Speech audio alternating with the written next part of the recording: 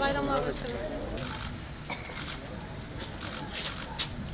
Altınordu Belediye Başkanı Engin Tekintaş, Kurban Bayramı öncesinde belediye çalışanlarıyla bayramlaşarak aileleri ve sevdikleriyle birlikte nice güzel bayramlar geçirmeleri temennisinde bulundu.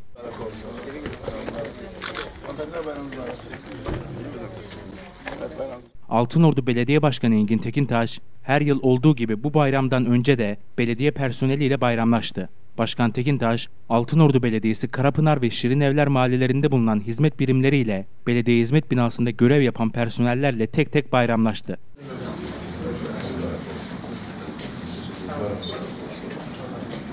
Altınordu Belediyesi Başkan Yardımcılarının da eşlik ettiği bayramlaşma ziyaretlerinde belediye çalışanlarıyla sohbet eden Başkan Tekintaş, Altınordu'ya hizmet için büyük bir özveriyle çalışan mesai arkadaşlarımın mübarek Kurban Bayramı'nı en içten duygularımla kutluyorum dedi. Birlikteliği, bayramlaşmayı her zaman olduğu gibi sizlerin çalıştığı, bulunduğu mekanlarda gerçekleştirmeye devam ediyoruz. 10. bayramı sizlerle birlikte gerçekleştiriyoruz. Onun için öncelikle bize bu imkanı bahşeden Cenab-ı Hakk'a hamdolsun. Bu çerçeve içerisinde de bugün Allah'ın bize vermiş olduğu bu lütufla sizlerle birlikte Kurban Bayramımızı gerçekleştiriyoruz. Ben özellikle bayramımızın mübarek olmasını diliyorum.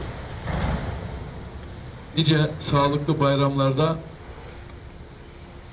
eş, çocuklar, anne, baba ve aileyle birlikte olmanızı, birlikte olmamızı diliyorum.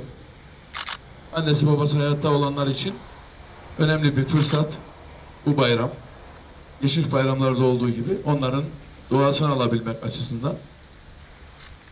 Olamayanlar için de onları duayla yad edip, onları Kur'an-ı Kerim'le yad edip, onların ruhuna ithafen sunulan, okunan ve bu vesileyle de karşılıklı konuşma imkanı sesli olmasa da yakalaya, yakalama fırsatı var bu vesileyle. Bu bayramın hem yardımlaşma ve dayanışma olan kurban kesimi hem de hac ibadetini yapanlar için önemli bir fırsatı sunması dolayısıyla bunu istifade ederek yolumuza devam etmemiz gerekiyor. Bu vesileyle bir kez daha kıymetli çalışanlarımızın, sizlerin, kardeşlerimizin Kurban Bayramı'nı tekrardan tebrik ediyorum.